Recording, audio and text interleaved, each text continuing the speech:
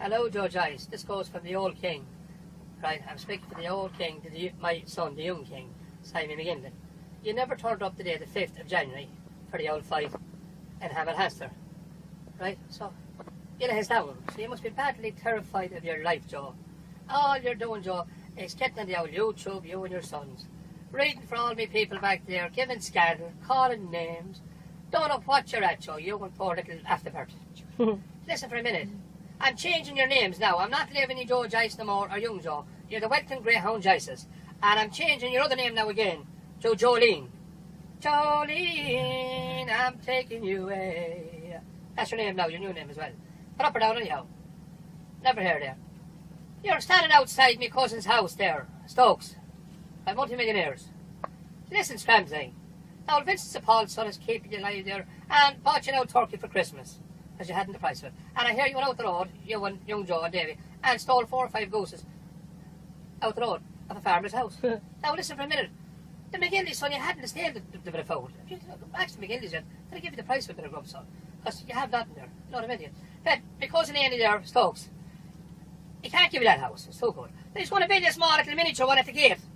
At the gate of it now, the same house, but a little small like a tie house. It'll be, it'll be same as that, like. The gate. And he's put you in for a little caretaker for picking up all the rubbish around the house and all that. And he just slap, you'd have clapped the birch in the door. But that's why you were at the gate to, get a photograph took of my cousin's house from our to You know not, you don't know what you're talking about. You're running around and you're calling he she's.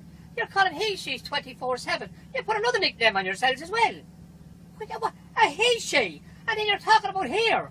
Oh, you're women, you're coming out with knickers, you're coming out with, with, with jeans things. Hey, listen a minute. Your women is full of hair, Joe. Our women is not full of hair. We go into bed with a woman with a lovely smooth body on her, right? And God, Joe, I couldn't get into bed with one of your women. I'd think I'd be with a fucking man. but here, that left out of his arse. So her God, I'd love to get into bed with a woman with, with lovely smooth, lovely body on her, lovely skin on her, not monkeys. If I went in with your women, I get a fucking fare to take out the door.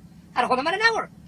You dirty old bastard, you, pulling down your trousers in the toilet, and your own daughter fitting, videoing you, and hadn't got toilet paper to clean your arse. Well, a monkey anyhow, don't clean his arse. Joe Joyce, that's from the king and the young king. Now, good luck, Joe, and get off calling my fucking people back their names and scandal and this and that. You dirty, hairy monkey, you.